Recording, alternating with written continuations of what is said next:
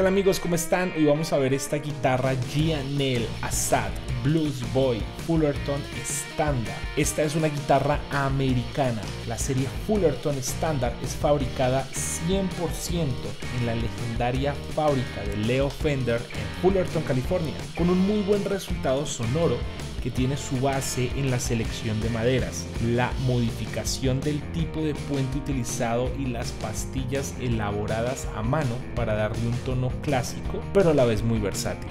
Si quieren conseguir estas guitarras, el abajo en la descripción les dejo toda la información y vamos a verla.